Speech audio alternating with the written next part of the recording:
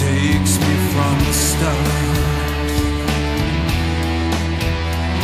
There's something holding here, waiting in the dark.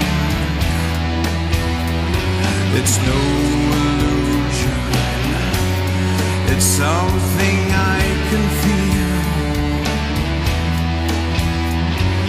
Saving devotion for something